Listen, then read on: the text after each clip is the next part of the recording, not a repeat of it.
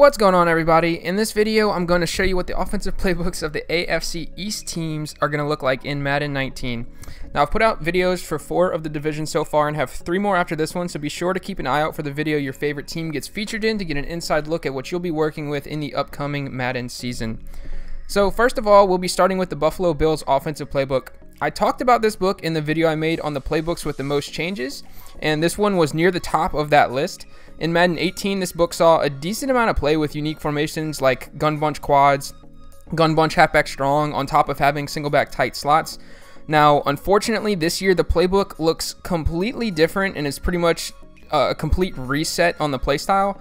Now, I said unfortunately because it lost some good stuff that made it different from the rest of the field, like last year, uh, but it still has the potential to look good with the new additions. This year, it looks a lot more similar to the New England Patriots playbook uh, due to the addition of their new offensive coordinator, Brian Daboll. I'm sorry if I mispronounced that, uh, but he spent several years on the Patriots staff. So this is good news for people who want to use this playbook, as the Patriots have consistently had one of the top playbooks in the game over the past several years. Next up, we have none other than the New England Patriots playbook. Now, some very marginal changes have been made as they gained three formations and lost single back ace overload, which was probably one of the worst standalone formations in the game, honestly. Uh, with these small changes, New England returns its core of formations, such as you know trips tight end, a bunch half or gun bunch weak, single back tight slots, and Y off trips pats. Uh, I fully expect New England once again to be around the top of the pack heading into Madden 19 and for it to be just just an all-around great playbook for this year.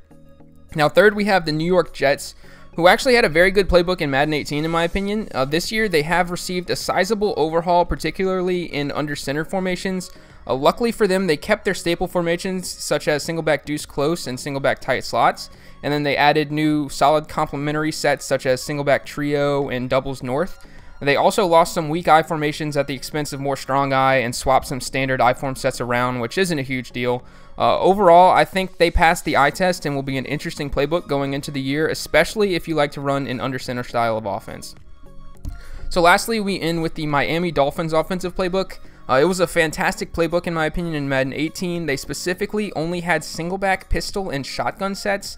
Uh, that has now been changed in Madden 19 with the addition of some traditional I form and weak I formations uh, just to kind of help with the power running game for short yardage and goal line scenarios, so I like that. The highlights of this playbook for now is the return of the gun bunch tight end formation, which I've talked about in the NFC West video about how it's being hyped up as possibly the best formation in the game heading into Madden 19 uh, after, you know, the gun bunch weak nerfs. Uh, just for that reason alone, this playbook will get some play right out of the gates. I'm, I'm almost guaranteed. Uh, but bunch tight end certainly isn't all that it has to offer. It still has some other great sets in it. So that's going to do it for this video, guys. As always, thank you so much for watching, and be sure to subscribe for a ton of Madden 19 content for the upcoming season. Until next time, guys, take it easy.